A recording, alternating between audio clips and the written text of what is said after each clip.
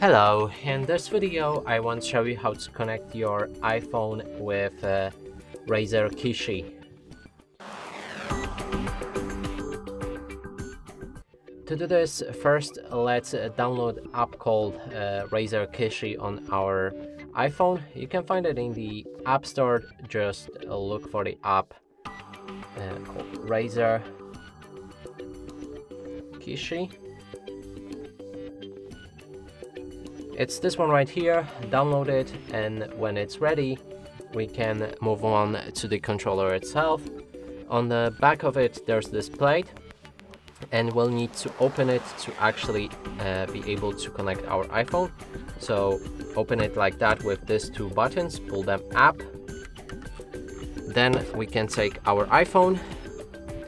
I would also strongly recommend to remove the case as in my case uh, when it was on I couldn't connect it with uh, that controller. So uh, remove it in case it uh, doesn't work.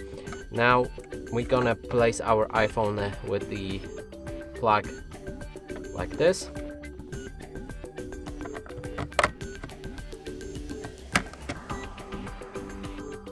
Make sure that it's well connected and then we can open the app and uh, that is basically our controller connected.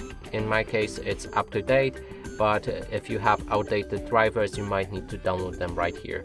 And that's it for this video. Hope you like it. Please consider subscribing to our channel leave a like and a comment below